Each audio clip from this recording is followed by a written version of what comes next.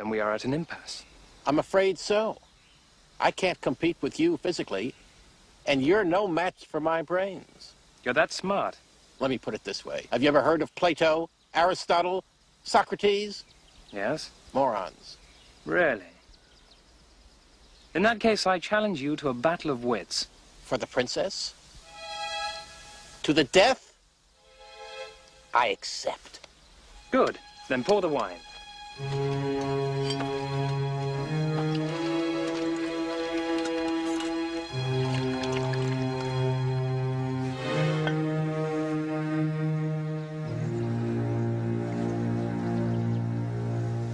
Inhale this, but do not touch. I smell nothing. What you do not smell is called iocane powder. It is odorless, tasteless, dissolves instantly in liquid, and is among the more deadly poisons known to man.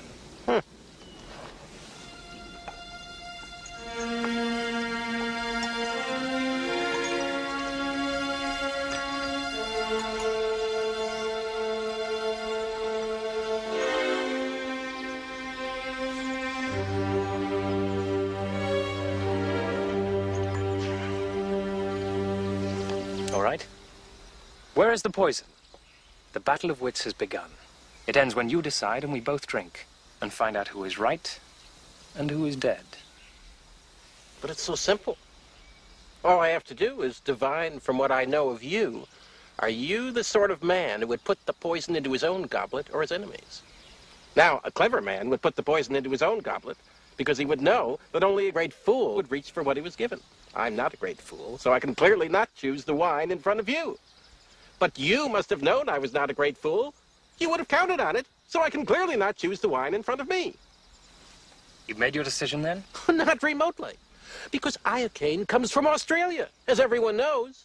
And Australia is entirely peopled with criminals. And criminals are used to having people not trust them as you are not trusted by me, so I can clearly not choose the wine in front of you. Truly, you have a dizzying intellect. Wait till I get going! Where was I? Australia. Yes, Australia. And you must have suspected I would have known the powder's origin, so I can clearly not choose the wine in front of me. You're just stalling now. You'd like to think that, wouldn't you? You've beaten my giant, which means you're exceptionally strong. So you could have put the poison in your own goblet, trusting on your strength to save you, so I can clearly not choose the wine in front of you.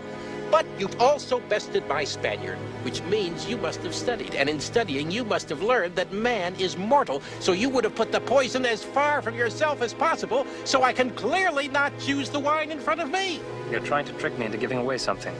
It won't work. It has worked. You've given everything away. I know where the poison is. Then make your choice. I will. And I choose. What in the world can that be? What? Where? I don't see anything. Oh, well, I, I could have sworn I saw something. I, thought, no matter. What's so funny? I'll, I'll tell you in a minute. First, let's drink. Me from my glass, and you from yours.